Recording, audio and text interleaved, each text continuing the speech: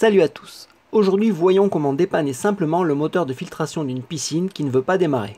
Alors que ce soit en mode automatique avec l'horloge ou en mode manuel en appuyant sur le bouton marche, le contacteur s'enclenche, passe à 1 et on entend un bruit de grésillement dans le tableau causé par la bobine du contacteur. Mais la pompe ne se lance pas et au bout de quelques secondes le disjoncteur se déclenche. Puisque pour l'alimentation électrique et le tableau tout est correct et que le contacteur s'enclenche bien, il va falloir regarder au niveau du moteur. Avant toute intervention, il faut mettre hors tension, en ouvrant le disjoncteur et l'interrupteur différentiel. Avec un tournevis adapté, il faut retirer les vis de fixation du couvercle de la boîte du moteur. Par précaution, j'utilise des gants isolants. Faites attention, malgré que le circuit soit hors tension, le condensateur lui peut être toujours chargé en énergie et provoquer une électrisation si on vient à toucher l'un de ses contacts. Pour vérifier l'absence de tension, j'utilise un détecteur de tension. A défaut, vous pouvez prendre un multimètre calibré en voltmètre alternatif VAC. Je commence la mesure entre le neutre en bleu et la phase en marron, pas de tension. Puis je me déplace sur le second enroulement, le conducteur noir, pas de tension. Puis sur la masse du moteur, pas de tension. Puis je déplace l'autre pointe de touche, le second enroulement. Le circuit est donc hors tension et le condensateur déchargé je peux retirer les gants et intervenir en sécurité. Voyons l'intérieur de la boîte. Rapidement, on voit que le condensateur a cramé et que le non-démarrage du moteur est directement lié au défaut du condo. Avant toute modification, je vous conseille de prendre une photo du câblage actuel pour mémoriser le branchement du condensateur, ou bien de le noter sur une feuille. Pour information, le condensateur doit se trouver entre le neutre en bleu et le conducteur de couleur noire dans mon cas, qui correspond au second enroulement du moteur. Au vu des dégâts dans la boîte et puisque certains conducteurs sont collés dans le condensateur, il est nécessaire de refaire les raccordements. Je coupe tout ce qui est collé au condo. Je desserre le presse et tout afin de pouvoir dégager le câble, que je dégaine au moyen d'un jokari afin d'avoir accès au conducteur placé à l'intérieur. Alors j'ai de la marge sur le câble d'alimentation donc je me permets donc de le raccourcir un peu. C'est donc ce composant, le condensateur, qui est souvent à l'origine des défauts de moteur et qu'il faudra donc changer. L'information importante à repérer sur l'étiquette est sa capacité en microfarad. Or là, l'information n'est plus visible. Il faut donc utiliser la plaque signalétique du moteur et ce qu'il reste du condensateur pour trouver les caractéristiques du condo de remplacement. Voilà les informations importantes à noter. Pour une pompe monophasée, il faut un condensateur permanent. Il faut identifier la capacité du condensateur en microfarad. Celle-ci est notée soit sur le composant lui-même, soit sur la plaque signalétique du moteur. Il faut choisir la méthode de raccordement, soit sur COS, et dans ce cas il faut mesurer la dimension des COS, ou bien par câble, en mesurant la longueur du câble nécessaire. Puis il faut identifier la tension de fonctionnement, et si possible le type de classe pour avoir une idée de sa durée de vie, et enfin les dimensions globales du condensateur afin qu'il puisse rentrer dans la boîte. Lorsque vous aurez noté toutes ces informations, il ne vous restera plus qu'à commander sur internet votre nouveau condensateur. Cliquez sur le lien dans le descriptif sous la vidéo pour trouver le même condensateur à câble que je vais installer juste après.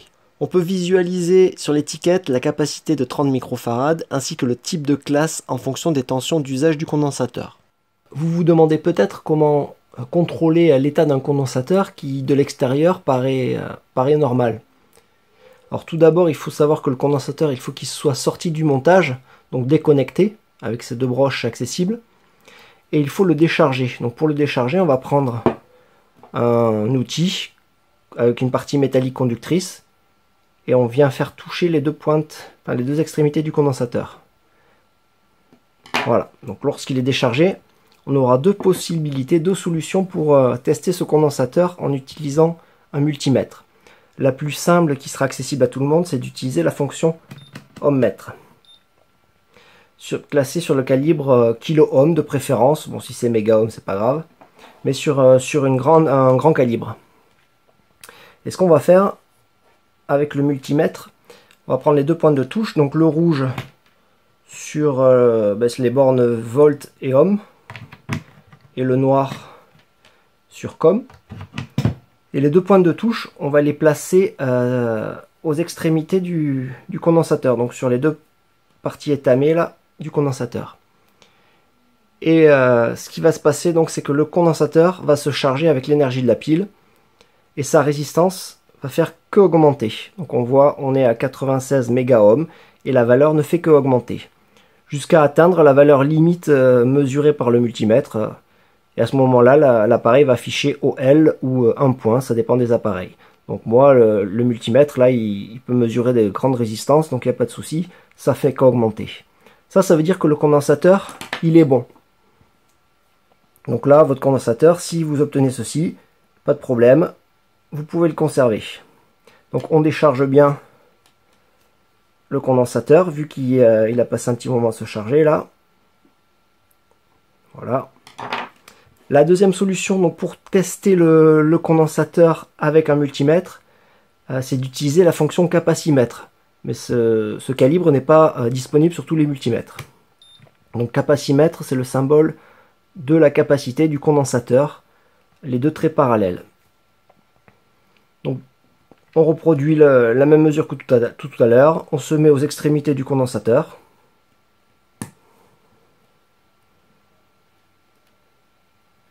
et on mesure. Donc là, le multimètre m'affiche une valeur de 28,38 euh, microfarad.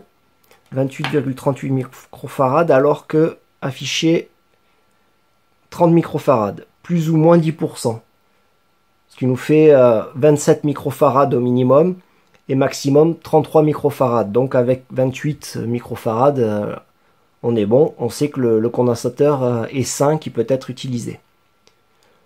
Donc ce condensateur est bon, je vais pouvoir l'installer dans le moteur. Je repositionne le câble d'alimentation à l'intérieur de la boîte et je resserre le presse-étoupe.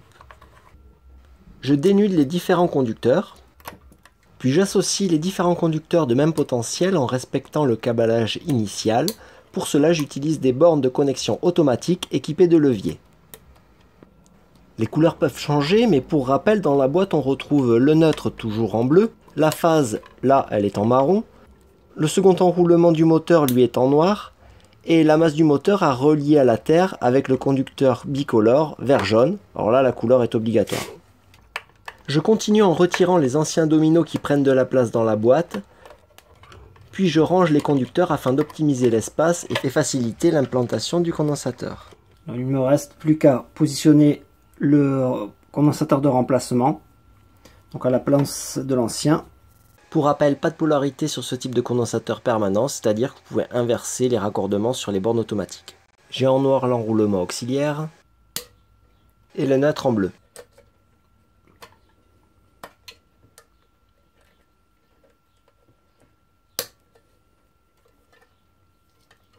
Je positionne le condensateur à l'intérieur de la boîte. Avant de refermer la boîte, euh, ce que je vais faire, c'est tester le fonctionnement, vérifier que le, que la pompe démarre bien.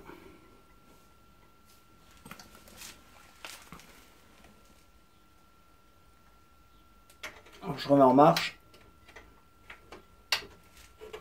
Je remets sous tension, je ferme le différentiel. Et j'appuie sur le bouton marche forcée, marche manuelle donc. Donc